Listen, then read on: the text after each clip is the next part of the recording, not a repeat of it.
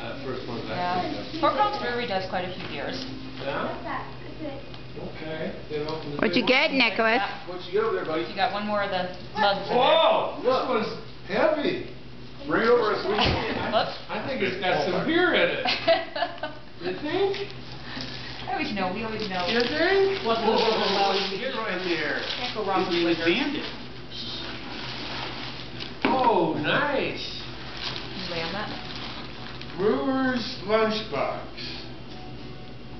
Variety pack. Stout.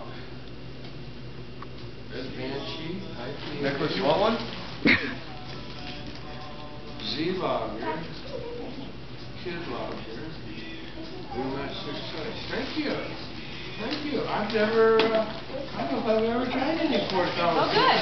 Are they relatively new? Well, it says on there, those mugs tell what date it opened. Those are their official mugs when they open, so they're not. Eight, twenty-eight, ten. No, that's new. So a year, Thank little over a you. year. Merry so- Christmas. That's new. Merry Christmas. Cool. Yeah, so you got two of them, so there's another mug in there. Thank you. Sucks. Always good to Oh, I should- Especially from Colorado. Yep. Support those locals. I bought, those are padded. They have a regular thin kind or just padded. I don't know which one you like. Open the uh, distilleries now, little micro distilleries. Yeah, yeah, I've heard about those. A Couple, of- there's one in Fort, in Loveland, and there's a couple new brew pubs in Fort, in Loveland too now.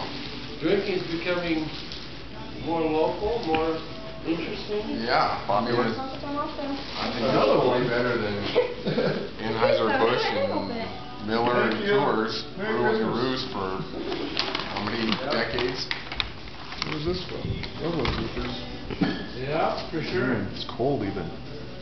Left hand. Gold Star. I haven't heard of that one. Left hand's always good. Thank you. Can I get a mug? Nice. Thank you. Pint glasses. Thank you. Guaranteed right brain satisfaction. Will got there too. Oh, left hand, that's left hand. Left hand's good. You know, I'm still using